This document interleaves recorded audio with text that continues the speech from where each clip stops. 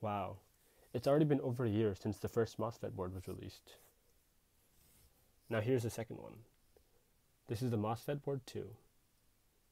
It shares many similarities between the first one, including uh, easy and accessible motor drive capability, which means that you can drive almost any uh, pair of flywheel motors within our community. It uses a MOSFET so it can handle high current, and being switched by low current so you can use thin gauge wiring to control the MOSFET. It was modular, so you, there were XC60 connectors that you can just connect to really anything in the blaster. And it's small, and also Arduino compatible. And it has all the protection circuitry you'll need to protect your MOSFET from almost any failure mode. But now, this guy has all of that, but in a smaller package and for cheaper. Let's see how easy it is to install and get up and running a flywheel cage. This guy is just uh, 3S Krakens on an OFP 42 with uh, Morpheus and some Bulldogs. Just like the other one, simply put in the XC60 to the motor. I like to use the Kelly motor cages or the motor boards uh, since they're so much easier to install. Here's the uh, LiPo, just a regular 3S. Here's the uh, the master switch. And here's a recycled uh, rev switch that you can use. Let's turn this guy on.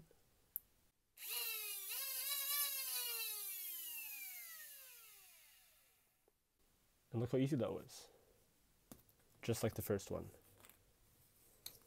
Let's do like a side-by-side -side comparison so we can really see what changed. First of all, look how small this guy is. This guy is barely bigger than an XC60 connector. That's good since the PCB itself actually has uh, more resistance compared to the wiring. So when you want to handle high currents, you generally want your PCB to be as small as possible. I've also designed this PCB so the entire PCB is used as a heatsink. So if the MOSFET gets too hot, of course, the PCB itself will help dissipate and absorb that heat. And here's the other one. As you can see, it's a lot bigger.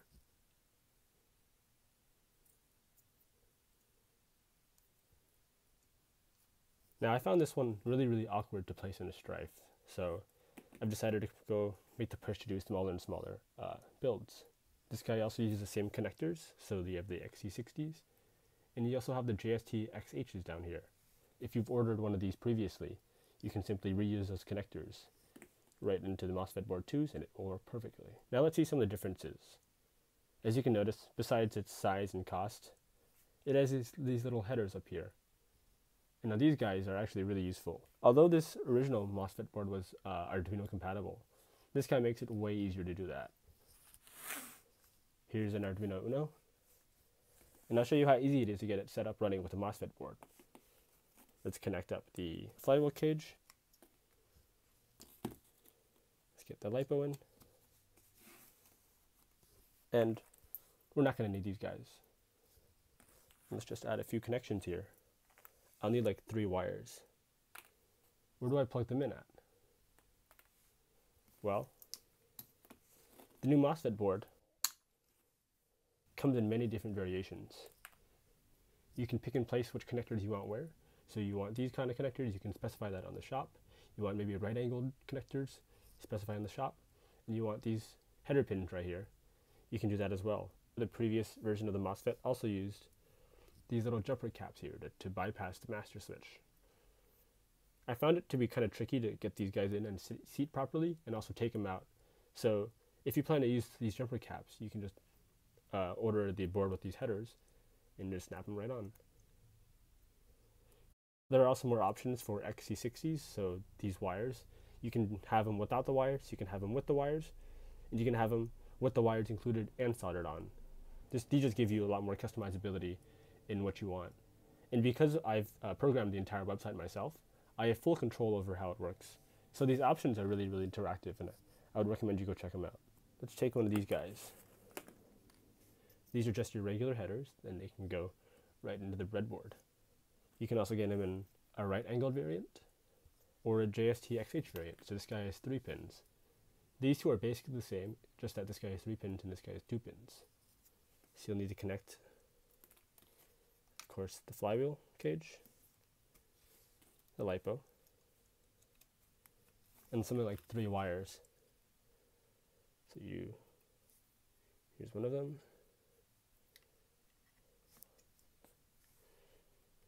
Here's another one. And here's the last one.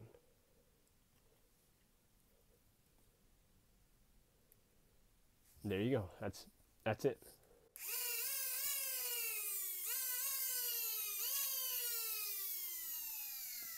Look how easy that was. Now, if you want something like uh, PWM, that's going to be a bit more tricky, but still really simple. You need like one line of code and something like four, three or four extra wires, and of course the potentiometer itself. As I'm moving more and more into this sort of Arduino stuff, uh, of course I'll have tutorials covering all that. So this will be like for select fire, which will be coming soon, uh, solenoid control via Arduino, which will of course be coming soon, and more. That's about it for the Arduino. You can also do the same with any model of the Arduino, and you can also use a Raspberry Pi. So the MOSFET itself is compatible with 3.3 volts and 5 volts, which provides a lot of uh, customizability in what kind of microcontroller you want to use. In addition to Arduino support, this guy also has solenoid support, which is getting pretty big in the community. Plug in a solenoid, plug in your switch, plug in your master switch or bypass it. Let's leave it off and you can see the master switch in action. There we go, nothing's there. But when we turn on the master switch, we get the, we get the solenoid. Look how easy that was, just like a flywheel cage. Now, I've been architecting this sort of MOSFET system for the past few months, and in addition to these headers providing Arduino and other microcontroller and microprocessor support, there are also some uh, boards I have work in progress. So this would be stuff like a PWM board, where you want PWM in your blaster, just simply tack on a new board that snaps right onto these headers, and boom, you've got PWM.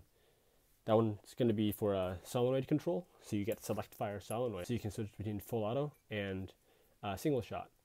And then, of course, uh, that same board can be used for uh, PWMing your flywheel cage, your flywheel motors. So that way you can get variable speed. And there's also more stuff with the Arduino coming soon and uh, motor braking. So stay tuned. Uh, thanks for watching. Uh, be sure to check out my links down below. That includes a new Facebook page and Instagram page that I've recently made, as well as links to buy all this stuff and the paper I wrote on how uh, MOSFETs work. Of course, there's going to be a ton more tutorials and content coming soon. This includes more boards and stuff that I have that I've been working on for the past few months, and tutorials too. Thanks for watching.